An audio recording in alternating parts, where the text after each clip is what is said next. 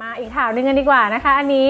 คุณเบเบ้ค่ะ เมื่อก่อนนี้เราก็คุ้นตากันว่าเธอเป็นสาวน้อยน่ารักน่ารักนะคะ ตอนนี้ก็มีบทบาทใหม่อย่างที่ทราบกันก็คือ เธอเป็นอาจารย์นะคะ แล้วเธอก็บอกว่าเธอค่อนข้างที่จะรักอาชีพนี้มากเลยทีเดียวค่ะ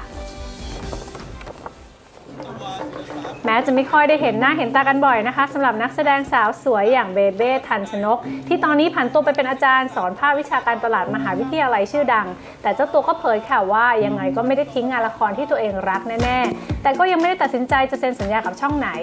ส่วนเรื่องหัวใจก็ไม่อิสระแล้วนะคะเพราะว่าตอนนี้เธอยอมรับนะคะ แล้วก็พูดอย่างเต็มปากเต็มคำนะคะ เรียกว่าแฟนกับบูมให้นักข่าวฟังเต็มๆเลยค่ะ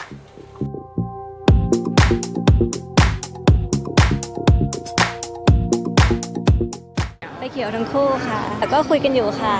อุ๊ยยังไม่ถึงปีเลยค่ะประมาณ4-5 เดือน เป็นเพื่อนก่อนค่ะตอนแรกคุยเป็นเพื่อนกันเลย แล้วก็เอ่อก็โสดทั้งคู่ก็เลยลองคุยกันนะคะก็ยังคุยคุยๆกันอยู่อะค่ะก็ถ้าถ้าถ้าคือเราก็อยากจะคุยเรื่อยๆ เป็นคนนี้คือแบบไม่ได้อยากจะเปลี่ยนเยอะอะไรอย่างเงี้ยค่ะคือถ้ามัน work ก็โอเค คุณแม่เราโอเคค่ะ คุณแม่เขาก็โอเคค่ะดีค่ะทุกอย่างโอเคเลยเรียกได้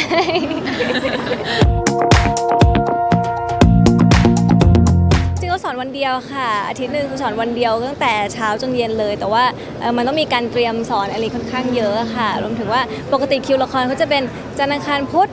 เรื่องหนึ่งแล้วก็พฤหัสศุกร์เสาร์อาทิตย์อีกเรื่องหนึ่งทีนี้พอพออังคารเราไม่ได้จันทร์อังคาร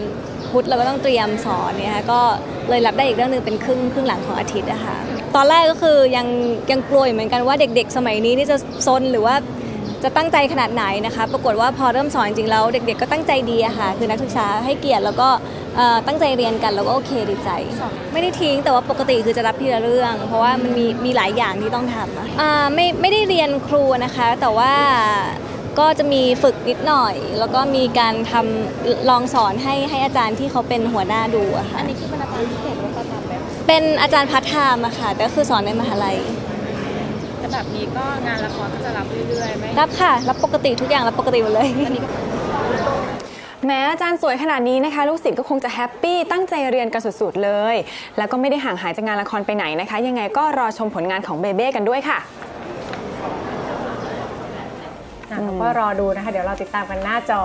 ตอนนี้ใครอยากดูก็ไปแอบส่องตามรั้วมหาวิทยาลัยก่อนก็แล้วกันใช่แล้ว เป็นกำลังใจให้บทบาทใหม่ของน้องเบเบ้ด้วยนะคะค่ะช่วงนี้พักกันสักครู่ค่ะ ช่วงหน้า Show Inside มีเรื่องราวของซีรีส์ Full House ในเวอร์ชันจีนให้ได้ติดตามกันด้วยค่ะ